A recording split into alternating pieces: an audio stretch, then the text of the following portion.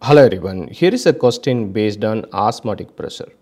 What is the mass of glucose required to be dissolved to prepare 1 liter of its solution which is isotonic with 15 gram per liter solution of urea?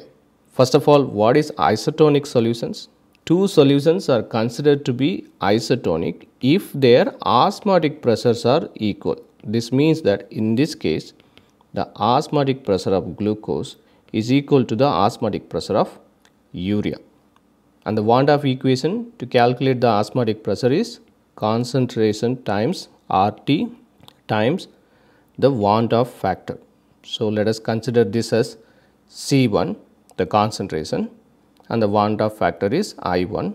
On the other side C2 is the concentration of urea times RT times I2. In this case both glucose as well as urea are non-electrolytes. And therefore I1 as well as I2 are equal to 1 and the concentration is number of moles divided by volume. The molar concentration or simply you can call it molarity. Number of moles is equal to mass divided by molar mass.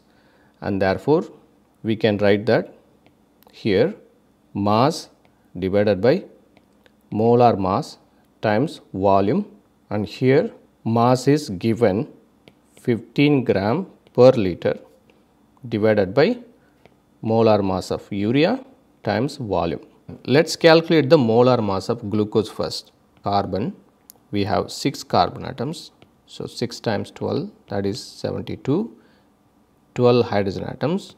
So, 12 times 1, 12 oxygen atoms. We have 6 oxygen atoms so 6 times 16 and that is equal to 96 and therefore this is 10 remaining 1 so 180 gram per mole.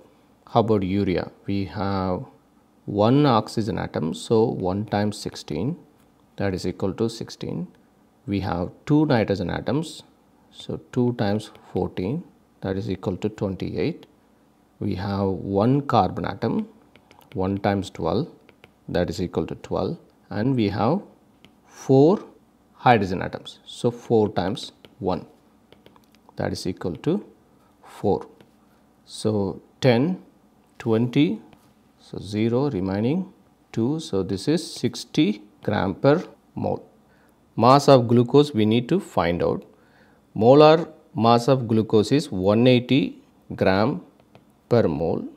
Volume is 1 liter.